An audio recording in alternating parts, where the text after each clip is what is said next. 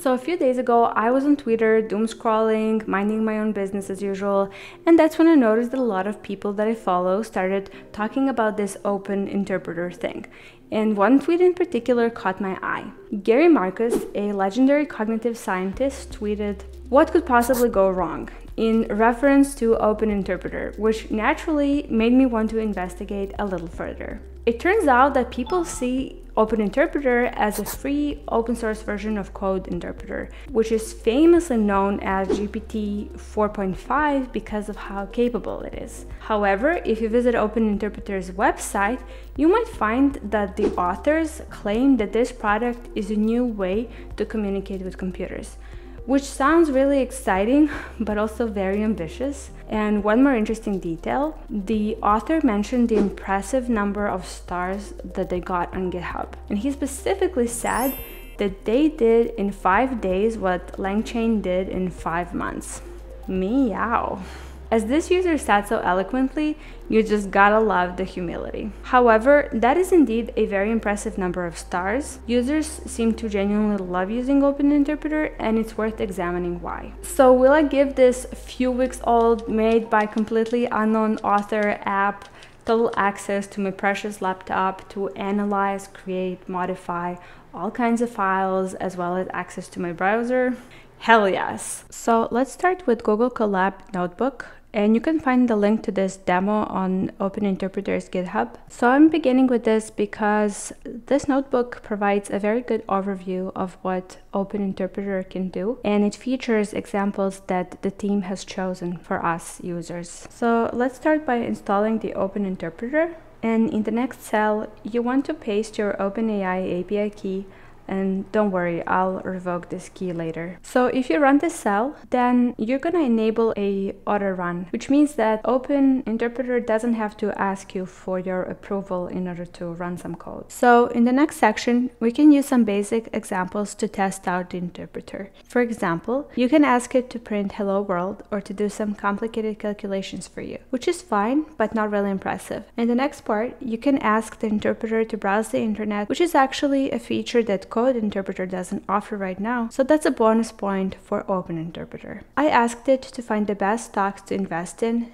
and after an initial error, it was able to gather data from the internet and to tell me that in the last two years, the best performing but also the most volatile stock has been Tesla. And I think that Interpreter did a good job. I also asked it to find stocks that I should invest in based on today's performance. Today is September 14, 2023, but it made an error and it did the analysis for September 14th of last year. Also, in order to reduce the number of tokens that send to OpenAI, it's good to run this command, which resets the whole conversation. So this was a nice introduction, but now off to more interesting examples. For this first example, you're going to need replicate API token, which you can create easily if you follow the link in the Colab notebook. Basically, I'm going to ask Interpreter to download this YouTube video to reduce the number of frames per second to only 12 and to give this video a hand-drawn effect with ControlNet. So let's see the result. As you can see, it made a list of tasks to execute and that reminds me of AutoGPT and other autonomous agents. Also, the interpreter did all the debugging on its own. But oh no, not the looping.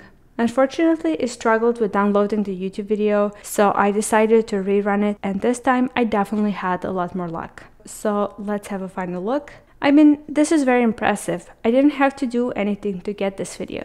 Interpreter did everything on its own. The only downside is that I paid almost $5 for this. So that was the moment when I realized that these experiments might be a road to poverty. So it was time for me to act as an adult. I decided to skip testing these following experiments creating and editing documents, slowing and reverbing YouTube videos, as well as making artwork or adding subtitles to videos. That's all interesting and impressive, but I'm not willing to pay another $5 for each of these examples. Instead, I'll trust the authors that Open Interpreter works for all of these use cases. However, I couldn't resist trying out this example, converting YouTube to TikTok videos. I mean, this sounds like a fantastic use case, and personally, it would save me a lot of time, if it works. So I decided to copy paste one of my YouTube videos and to give it a try. But 40 minutes and another $10 later, I decided to stop the experiment. In those 40 minutes, I reran the interpreter six times and it would only get to the part where it cuts the video. So the result of this experiment was one pixelated, low resolution video that's perfectly cut, however. You can also run the interpreter locally. I suggest you first create a virtual environment and then you can simply install it by running the command pip install open interpreter and finally just run it with the command interpreter.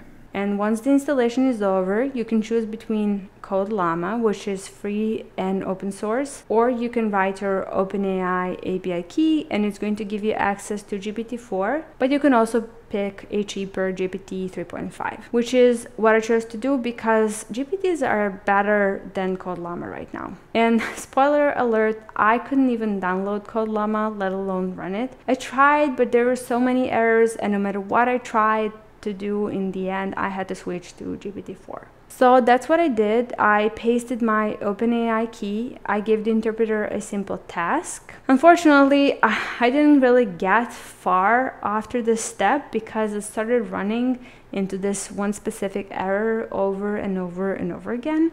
I did some debugging and I found other unfortunate souls that ran into the same bug. So I implemented the solution that I found on GitHub and it seemed to work in the beginning because this time a new error appeared and I honestly started feeling frustrated at this point. So I decided to give up on running it locally. And I want to be completely fair, and I have to mention that it seems to me that other users don't have these problems. For example, a lot of YouTubers made videos about how they use the interpreter locally, so I want to believe that I'm one of the few that didn't manage to run it. Also, I can see that the team is improving the code a lot, so hopefully they'll be able to fix these bugs in the near future. And I will definitely try to run it again in a week, so hopefully it'll be more successful next time. So to wrap things up, the good thing about Open Interpreter is that it seems to work well, at least when it comes to simpler tasks. And also it has access to the internet unlike Code Interpreter. What I really like about it is that I could see each step, every library that Interpreter decided to run, and to me that was very educational. It felt like an opportunity to see practical application of some of these libraries. Unfortunately, it was very prone to errors, much more than Code Interpreter, and the price is definitely a turnoff, especially especially if you cannot run CodeLlama like me. For $20 a month, you can get access to GPT's code interpreter and all the plugins, and that's almost the same amount that I paid for experimenting with Open Interpreter for a few hours. But it's an open source project. Team definitely has a cool idea and did a good job so far. And I'm pretty sure that in a few weeks, Open Interpreter will be even more useful. So that's it for today. I hope you learned something useful and see you in the next one. Bye.